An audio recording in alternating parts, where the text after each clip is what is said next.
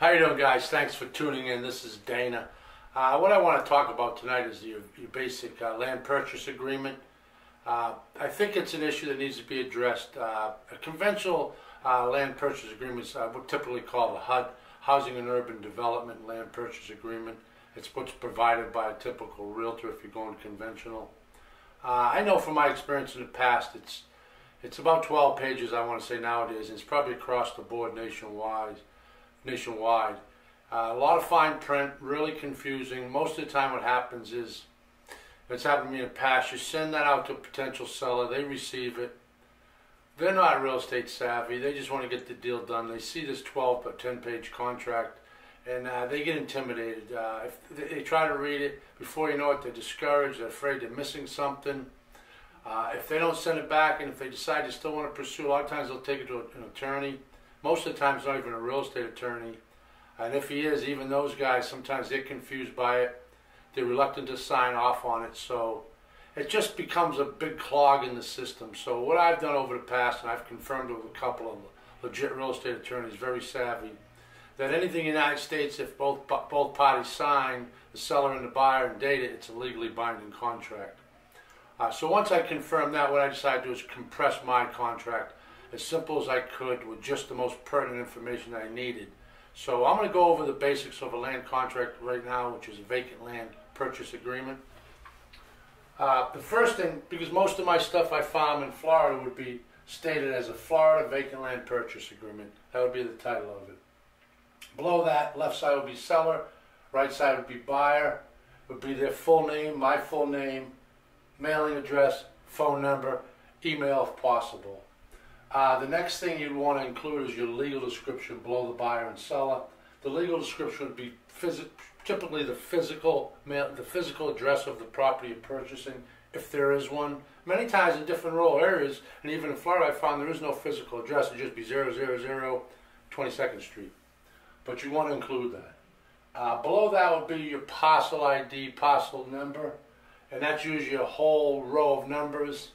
Uh, it's usually a bunch of numbers. You just got to make sure when you're doing your parcel ID numbers that they match exactly which property you're trying to buy because there's a lot of times there's 2752, four zeros, and then a bunch of numbers or four or five numbers relating to the legal description, and then more zeros. So just make sure you watch and dot your I's, cross your T's, make sure that's correct on what you're purchasing.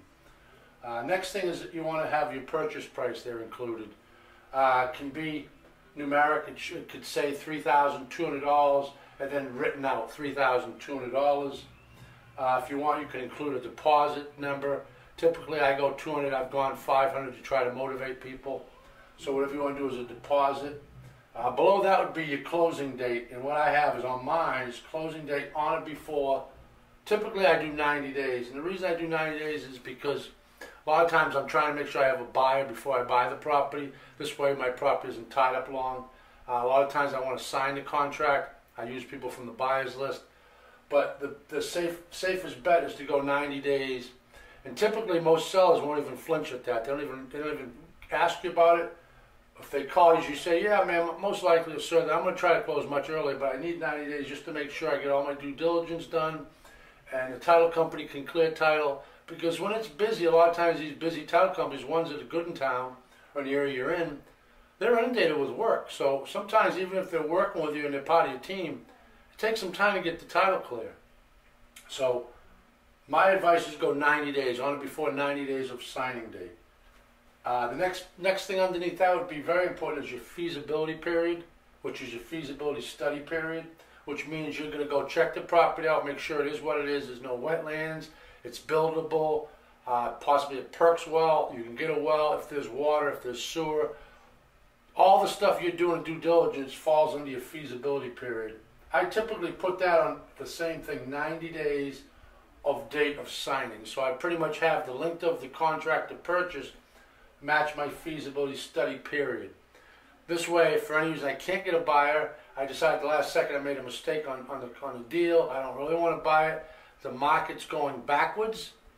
There's a lot of things that can happen, and, and you want to be smart. So I always say, do what you do best, buy and sell land, and make sure when you're doing these these these deals, that you protect yourself. You want everything in your favor. So my advice is to do the 90 days to match the on and before date on the closing date. Next thing, very important, assignability. You can assign but not be released of the liability. Assignable, but you can't be released, meaning at any time you want prior to closing, you can go ahead and sell it to somebody else and you just assign the contract to them. You're not released of the liability, which is not a big deal basically. But what it's saying is, yes, I can, Dana Brown, assign, give that contract to somebody else. I'll sign it to them. They'll go to closing, they'll pay the closing, they'll pay you for the property. Now, being liable would mean I sign it, my, I, Dana Brown, sign it to John Smith. He gives me the money off the top between the wholesale price and the discount price and sell it to him. He gives me a check. He doesn't go to closing. These people, the worst they can do is come back to me and want their deposit back. So I'm liable for that basically. That's generally what happens. The next thing, you want to make sure it says this is a legal binding contract. I typically add that in there just to reiterate the fact that yes, it's a legal contract. You're bound until that period to close, uh, meaning the seller. And then below that, which is real important, obviously you got to have this as the seller and buyer.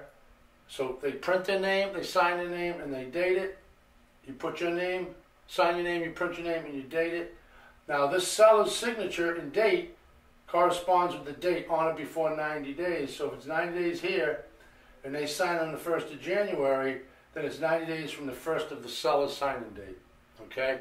So I hope you have a basic understanding of what needs to be on a standard uh, purchase agreement, whether it's in Minnesota, South Dakota, wherever it may be, California, New Hampshire, Florida. They're typically the same. It's a legally binding contract. So uh, we're going to touch base on that, and I'll show you a one-page template in the Master Series. I'll provide that for you guys. If you decide to take the lessons, uh, I'll give you a template, and then you can use my template.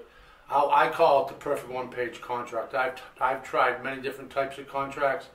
I've even had them in the past uh, redone and translated into Spanish. Uh, we did some business that most of the properties that we were buying in Florida are owned by people who lived in, in uh, Puerto Rico, matter of fact. So uh, it worked real convenient. We just had one of our people uh, just translated over to Spanish, and uh, she she did the deals for us. I mean, it worked out wonderfully. So, and it was a compressed contract. I think at the time it was a two-page contract with a cover letter that was included. So that's my lesson for the day. I hope you guys got to have a better understanding of what needs to be done. Trying to keep you guys' life simple. Make sure deals come in, go out. There's no snags in, in the system.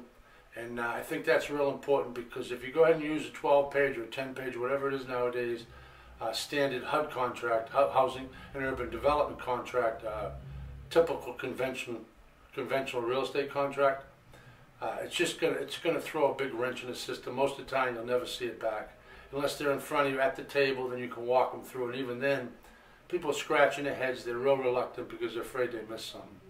So that's my lesson for today. Thank you guys for tuning in. If you like the video, please hit the like button. Uh, if you think it's worth sharing, share it. We'd love to have you subscribe, so just hit the subscribe button. And if you do, just hit the bell along with that way you'll be notified every time we have a new video coming out. Uh, I'm trying to provide videos every couple of days at least. I think that's real pertinent uh, to keep you guys updated so you're not sitting around waiting for some more information. Uh, hope you've enjoyed all our other videos. But anyways, you guys have a good remainder of your week. Stay safe. Uh, don't be don't be greedy. Always be generous. Be kind. Thank you guys so much for watching. Uh, be safe. We'll talk to you soon. Bye bye.